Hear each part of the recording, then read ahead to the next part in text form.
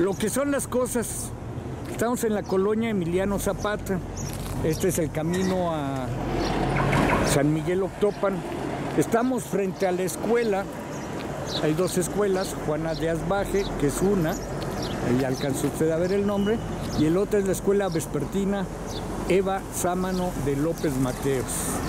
Ay, Evita, si se si pudieran regresar Juana de Asbaje y Evita, les daría coraje esto.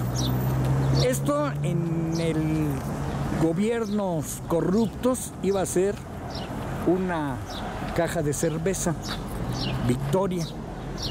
Pero los vecinos reclamaron porque está frente a las escuelas y entonces abandonar. Y vea usted en lo que se ha convertido esto, junto con este lote baldío que está aquí, pero que también aparentemente tiene que ver con esto. Ya lo han ido eh, desbaratando, pero adentro no juegue, mire nada más. Frente a una escuela, no cabe duda que como cartón de cerveza como esto es un claro ejemplo de lo que no se debe de hacer. Pero esto no le importa a las autoridades. ¿Usted cree que lo han reportado a desarrollo urbano? No, ellos andan en el negocio de las rejas de las calles y otro tipo de negocios, pero no atendiendo esto. ¿Cómo es posible que permitan que el dueño, si es que tiene un dueño, deje así las cosas?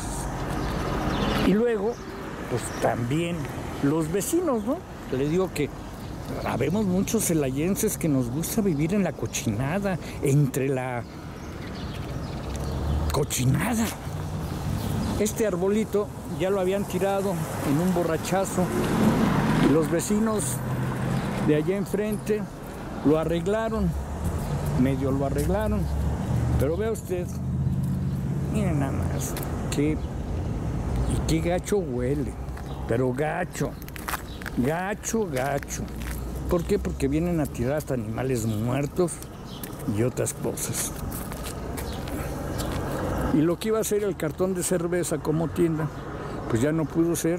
¿Y les valió? Nada más que pues yo no entiendo cómo es posible que no puedas llamar al dueño de esto en abandono, quitárselo, que se lo den a los vecinos. Yo le puedo asegurar que los vecinos le podrían poner un cerco y poderlo aprovechar de mejor manera. Pero nuestras autoridades les vale. Ellos andan en recaudación de dinero. Y como esto, pues, es meterse en asuntos, en papeleos. Pero vea usted, ahorita no me permite el camión este que está aquí estacionado, ¿verdad? Poder ver, pero me voy por este lado. ¿Y por qué no le permitieron tener el cartón de cerveza aquí como tienda? Bueno, pues muy fácil. Ahí está enfrente de las escuelas que ya le, le, decía yo. La Juana de Asbaje y la escuela primaria Eva Sábano de López Mateos. Así somos de cochinos en Celaya. No nos hagamos tontos. Nos gusta vivir entre la entre los desperdicios de la basura. Y este que iba a ser un gran negocio, pues ahí lo abandonaron. La verdad es que le deberían de quitar el terreno. En serio. Pues, permitir esto. Así se encuentra. Revolución Mexicana, hasta el nombre. Así de sucio está todo esto.